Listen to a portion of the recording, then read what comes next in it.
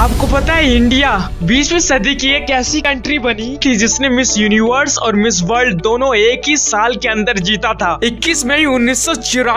इस दिन सुष्मिता सेन ने मिस यूनिवर्स का टाइटल जीतकर पूरे देश का नाम रोशन किया था और उसी साल ऐश्वर्या राय बच्चन ने मिस वर्ल्ड जीतकर पूरे इंडिया को प्राउड फील कराया था और ये कोई छोटी मोटी बात नहीं है बहुत बड़ी बात है एक ही साल के अंदर एक ही देश से मिस वर्ल्ड और मिस यूनिवर्स का जीतना कोई मामला मामूली बात नहीं है और एक बात और कहना चाहूंगा जो सुष्मिता सेन है यह इंडिया की पहली लड़की थी जिसने मिस यूनिवर्स जीती थी और ये बात हर इंडियन के लिए बहुत गर्व की बात है दोस्तों ये वीडियो आपको थोड़ा सा ही पसंद आए तो एक लाइक जरूर कर देना और ऐसे ही वीडियोस के लिए हमारे चैनल को सब्सक्राइब जरूर कर लेना